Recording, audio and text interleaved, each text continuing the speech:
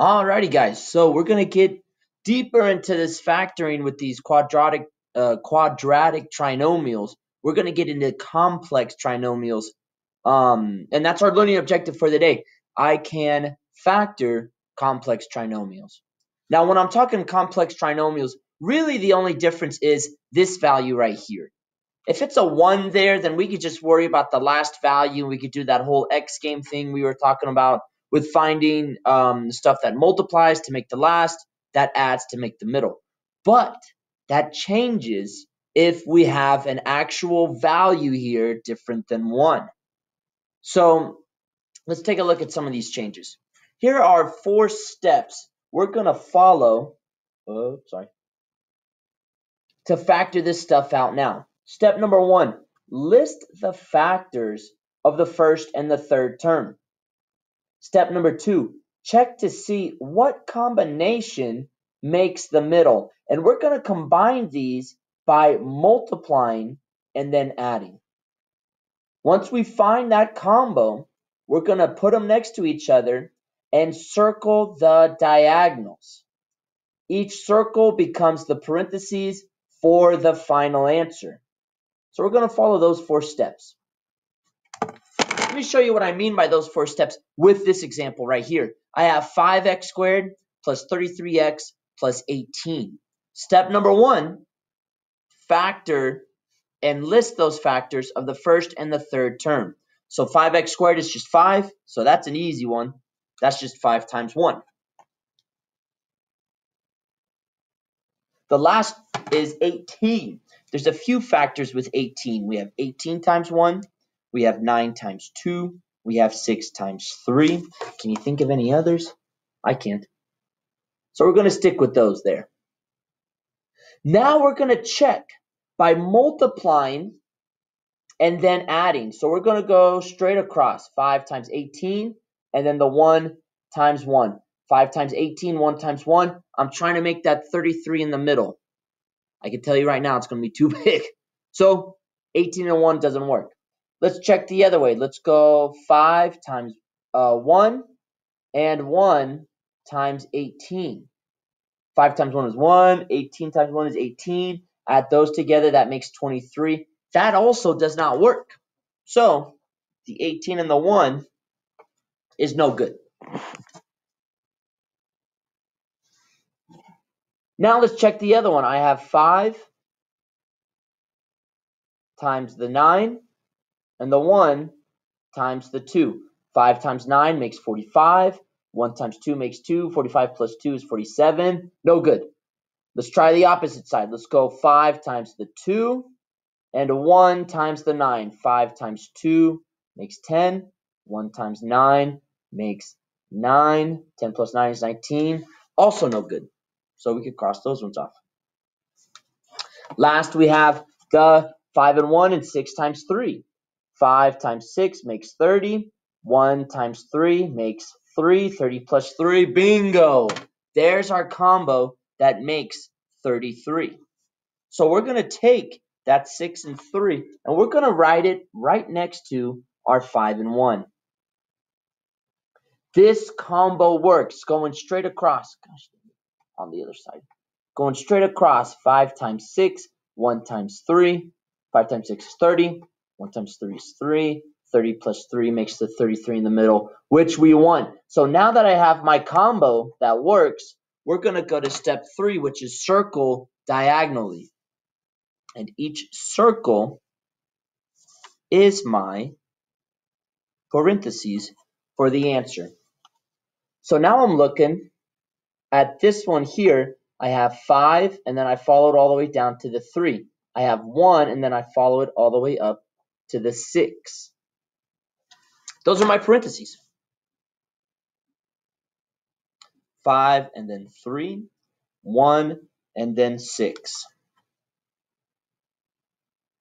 We had x squared in the beginning, in the first term, which means our x needs to be at the beginning. And I'm going to replace that 1 with the x because I don't need to put 1x down. Look at the signs. Everything was positive, so we're going to keep everything positive with our signs. we have factored this trinomial that's a little more complex. So let me type this thing out. I've got parentheses 5x plus 3, close parentheses, open another one, x plus 6.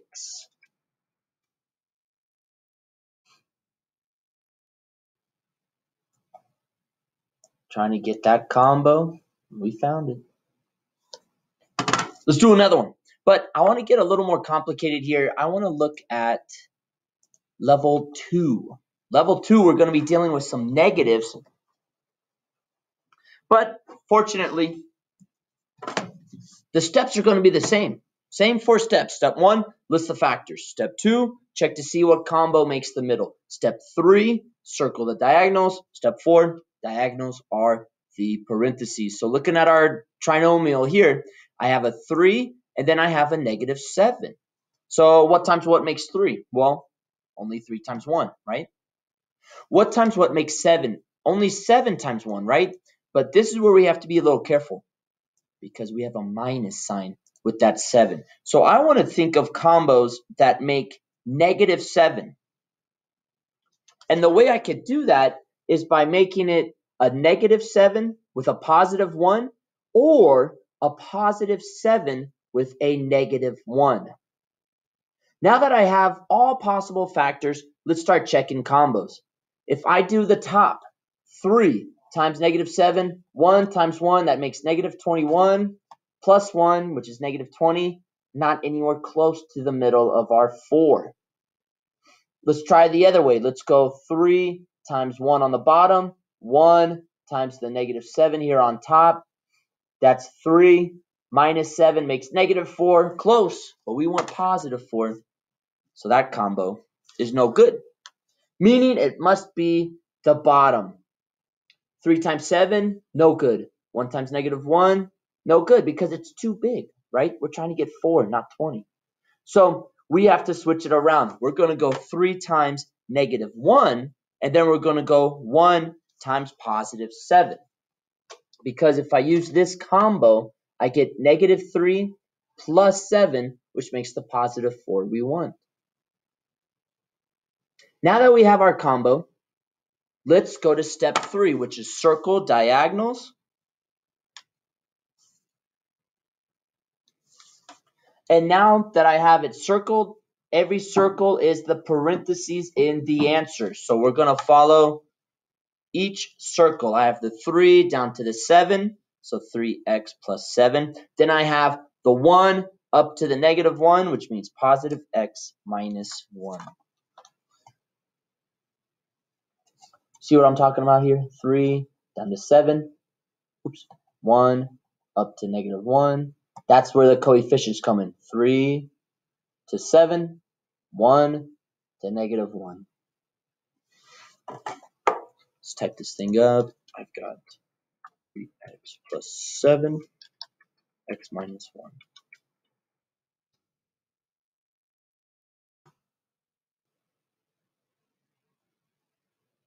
Some people call it the butterfly method because the diagonals kind of makes it look like butterfly wings. But that's how we get it. Let's see if I can find another one a little more complicated, dealing with those negatives still. Yeah, perfect. Now I've got double negative. Negative for the last and negative in the middle. Same thing, same steps. This is going to be our last example. I have 5 x squared, so we're looking at factors of 5. Okay, 5 times 1. That's it. Then I'm looking at factors of negative 9. Ooh. I have 9 times 1, I have 3 times 3, but we're talking negatives, right?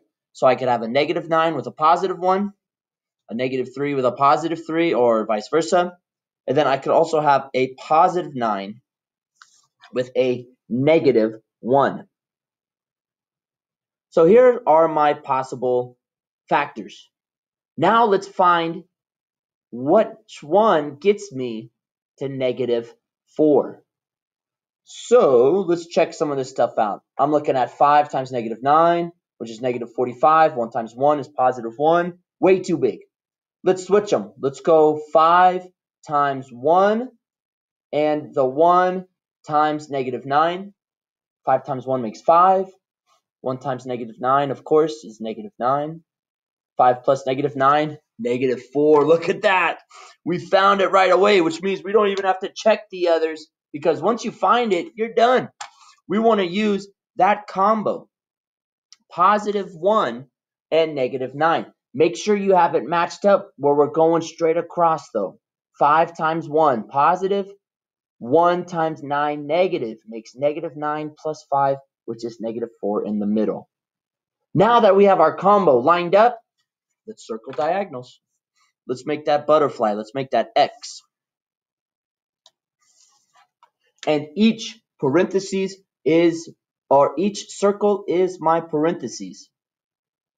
Can you see what the parentheses are going to be already? For one of them, I have 5 and negative 9, so I'm going to have 5x minus 9. The other one was 1 and 1, so I'm going to have 1x plus 1. We're taking care of the signs in our list of factors, guys. The negative 9, the negative 3, the positive, the negative 1, whichever one. So we don't have to worry about subtraction or addition. It's already part of our factors in the list. Just follow the list with the combo that works out.